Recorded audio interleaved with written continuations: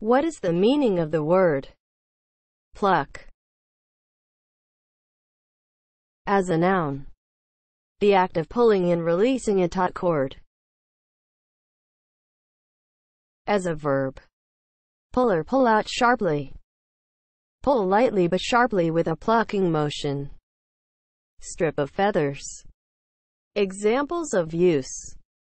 Pluck the flowers off the bush. He plucked the strings of his mandolin. Pluck the capon.